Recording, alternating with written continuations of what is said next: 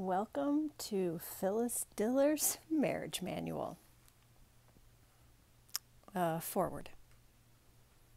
Do you have a marriage that is constantly in the repair shop? Do you have the feeling that even Maury Wills wouldn't steal home if it was like yours? Was the last time you smiled for your wedding photograph? Since marriage is a private institution and not supported by public funds, I want to help. You may think you know all the rules you need to, like no rabbit punches and no kidney blows, but I have some, some I have some other suggestions that will make till death to us part seem not seem like not quite so long. First and foremost, get married with a feeling it is going to last, not like the bride I knew who doubled the wedding cake recipe and froze one. Sometimes I think brides and wives have a tendency to forget that husbands are people. We all know that happiness in marriage depends on how well the husband's minds minds how well the husband minds. but there are subtle underhanded methods of getting across to him the fact that the wedding bell is not the Liberty Bell.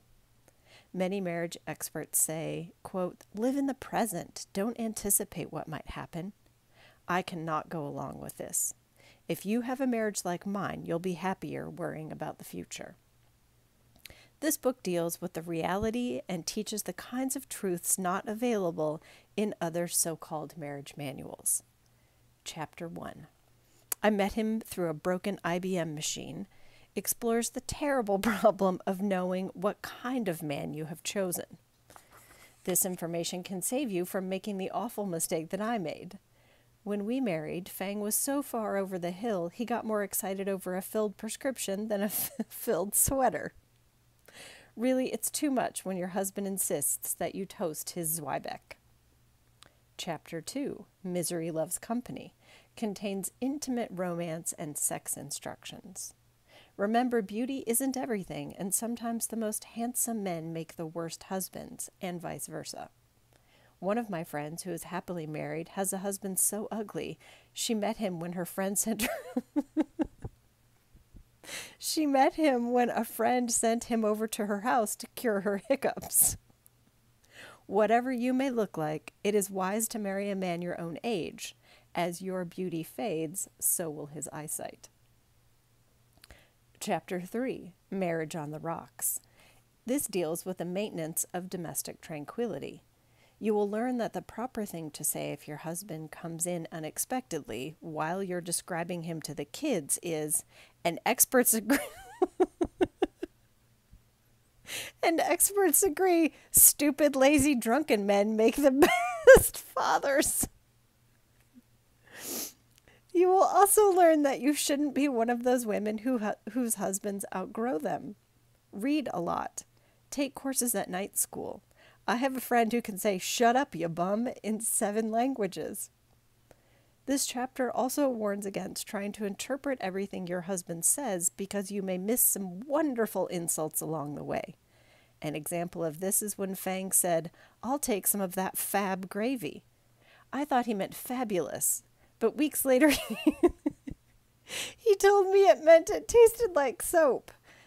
That's a joke for only people born in the 70s let me tell you, let me tell you a discussion that starts I'll tell you something you do that irritates me. If you tell me something I do that bothers you, never ends in a hug and a kiss. Chapter 4 The Power Behind the Throne instructs on the nature of man, laziness. It offers the consolation that unless you're married to Henry VIII, you're more likely to outlive your, your husband. Your husband realizes this, and by being lazy, he may be thoughtfully preparing you for widowhood. Of course, Fang isn't lazy, he's just professionally unemployed. I don't mean to say that Fang changes jobs, but he but he could have been on the what's my line every week since the program started. If your husband gets fired as often Fang, I will pass on fired as often as Fang, I will pass on this important tip. When he calls and says he's bringing the boss home to dinner, don't don't start getting it ready until 5:30. Chapter 5. My mother-in-law wears army shoes.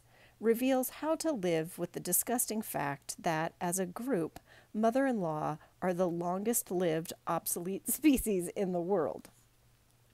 Chapter 6 His car has more insurance than I do. Teaches how to call a bail bond.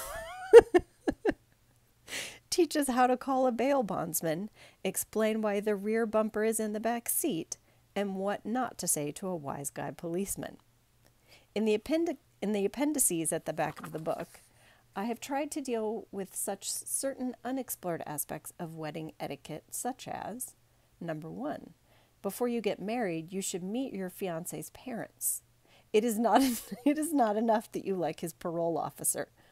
Number 2, when the bridal consultant says you should have traditional wedding music, it does not necessarily mean what has been played at your four previous weddings. Number 3, when in a wedding line, don't say to the Don't say to the bride and groom, I just hope you'll be as happy as we thought we'd be. Finally, I have provided a happy marriage test which is certain to clear up any remaining problems. Perhaps the greatest lesson I've learned is that self pity is better than none. This being the case, it is, is it any wonder I decided to write a marriage manual? Signed, Phyllis Diller. So there you go for all you people quarantining with other people I'll be here for the next week or so with some marriage advice from Phyllis Diller.